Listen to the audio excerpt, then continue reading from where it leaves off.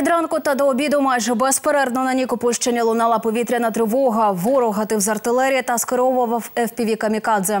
Мешканці Марганця відповіли на найпоширеніші питання щодо держпрограми є відновлення. Що треба знати?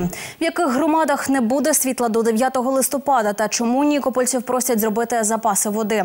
Як у Червоно-Григорівській громаді комунальники замінюють водогін та готуються до зими. Звільнення Євгена Євтушенко – правда чи фейк? Ми отримали офіційну інформацію. Ви дивитеся спецпроєкт про Нікополь. Вітаю! Підписуйтесь на Ютуб 11-го, щоб нічого не пропустити. І коментуйте наші новини. А ми починаємо випуск.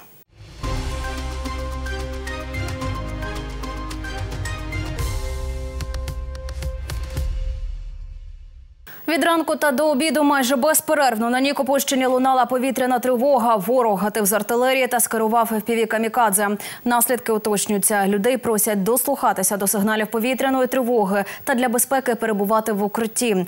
Вночі було гучно в небі району, проте без ворожих атак і надзвичайних ситуацій. Протягом минулої доби ворог тричі обстріляв зі ствольної артилерії та шість разів скеровував FPV «Камікадзе» на Нікопольщину. Під ударом були райцентр і населені пункти Марганецької та Червоного Григорівської громад. Люди не постраждали. Загалом понівечено три приватні будинки та об'єкти інфраструктури.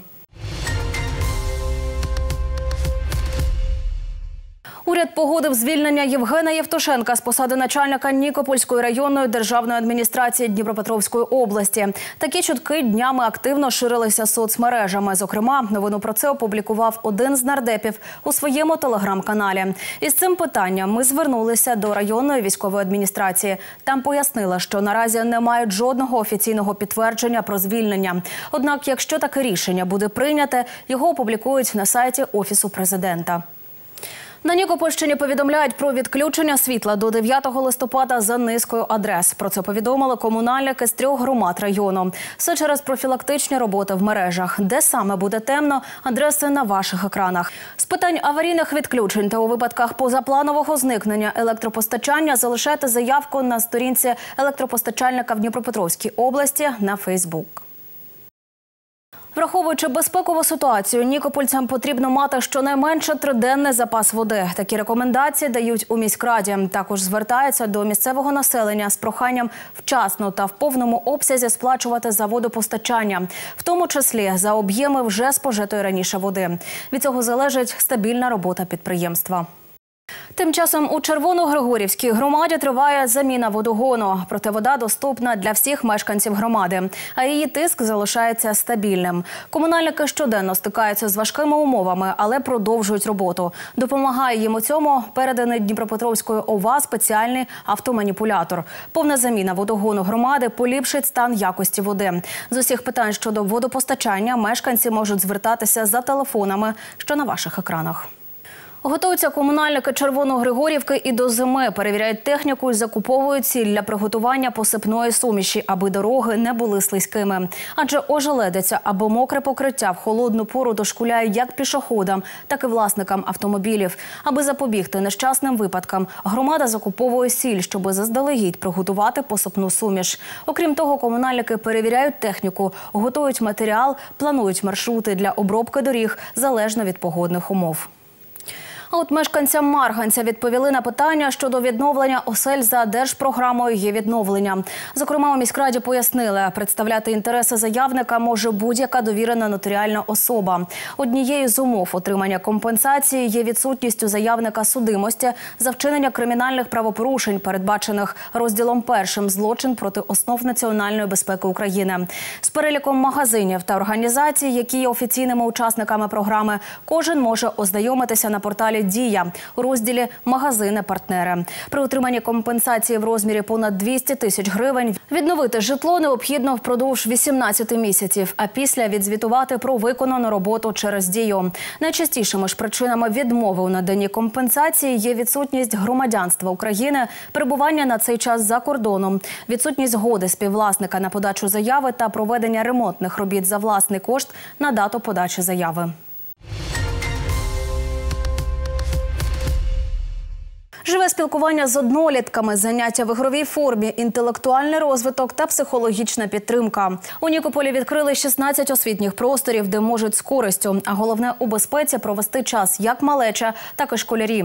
Тут з ними працюють викладачі, вихователі, проводять заняття із змінної безпеки і рятувальника. Як працюють та як відвідати такий освітній простір, розкажемо у наступному сюжеті.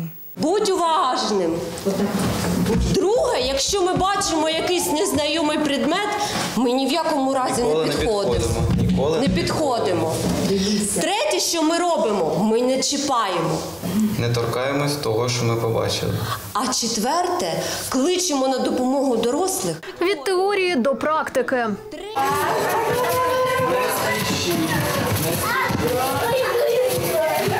в одному з освітніх безпечних просторів для дітей проходить заняття із змінної безпеки. Тут малечі розповідають про вибухонебезпечні предмети, як із ними поводитись, говорять і про безпеку у побуті.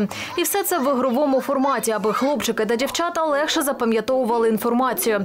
Від такого навчального процесу в захваті і Євгенія. Танцювати. Тобі подобається? Ти давно Да. сюди ходиш? Да. А що найбільше подобається? Вишивати. На заняттях для дошкільнят запрошують рятувальників поділитися досвідом та розказати про правила поведінки, бо такі знання в реаліях сьогодення вкрай необхідні. Це, це стосується не лише діток там дошкільного віку, це і дітки шкільні, шкільного віку, там починаючи там з першого, закінчуючи 11 класом. Ми всім намагаємось донести в різній формі е, ті чи інші правила поведінки. Ми створюємо такі е, неформальні, можна сказати, уроки в ігровій формі. Більше у нас це проходить. Квести з старшими дітьми, там де на базі шкіл. Так а в садочках, от такі у нас е, суперздібності ми здобуваємо з дітьми. Це дуже чудово, цікаво. Ми також розмовляємо і про гендер, і про насильство, і про булінг. Ви розумієте, це спектр широкий. Ці заняття із малечою подобаються і їхнім батькам. Дитині все подобається. Нам теж. Тут дуже добрі воспитателі. Ну, це дуже класно, що ми сюди пішли. У мене дитина стала більш сосредоточеній, вона стала, як сказати, не розгублена. Простори відвідують як дошкільнята, так і учні місцевих шкіл. В центрах дітям допомагають соціалізуватися. Мене звуть Ілля, я добре читаю та ще я швидко бігаю. А ще у безпечних просторах діти вчать уроки та розкривають свої творчі таланти. Ми малюємо, виліплюємо, е, пишемо, вирішуємо. Граємось. Е, Моя суперсила це малювати, е, бігати, розважатися і, і уроки. Через дистанційне навчання більшість матеріалу діти вивчають самостійно, тому в центрах їм також допомагають надолужувати освітні втрати. Кожен вчитель, коли проводить дистанційні заняття, е, він е, бачить, що є діти, які не зовсім, е, як то кажуть, зрозуміли певну тему, то вони разом з батьками можуть прийти в наш безпечний освітній простір і отримати ще додаткову консультацію від педагога для того, щоб краще засвоїти той чи інший матеріал шкільний. У місті також є цифрові освітні простори, де школярі навчаються працювати з гаджетами та опановувати ази it сфери Мені дуже подобається. Я комунікую з людьми, з однолітками, навчаюсь новому. Вчителя мені дуже подобаються. Розмовляємо дуже багато, відповідаємо на питання, розважаємося. Ну, мені більше подобаються історія уроки, біології, української мови і української літератури. Сидіти за монітором ну, теж набридає. І тим паче це дуже шкодить здоров'ю, особливо очам. У просторах займаються діти з 3 по 11 класи, і попит зазначають викладачі є. Є попит на цей кабінет, бо наразі в нас е, такий предмет, який е, вимагає ну, більше практичних занять, ніж математика, українська. Якщо це онлайн, то мені важко оцінити дітей з приводу практичних робіт. Тому ми запрошуємо дітей. Я викладаю з 3 по 11 клас. Ми їх запрошуємо. Наразі у Нікополі облаштували 16 11 безпечних освітніх просторів. Частково це кошти місцевого бюджету. Інша частина допомога благодійників. Перший центр відкрили приблизно рік тому. Останній цьогоріч у вересні.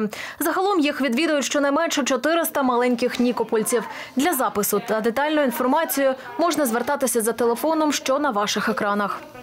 Вікторія Вахрушина, Альона Балкова та Володимир Поваренко про Нікополь.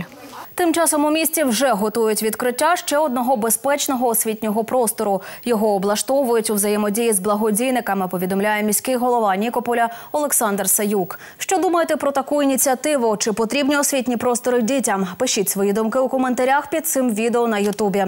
Також підписуйтеся на 11, аби не пропустити головного. А ми продовжуємо випуск.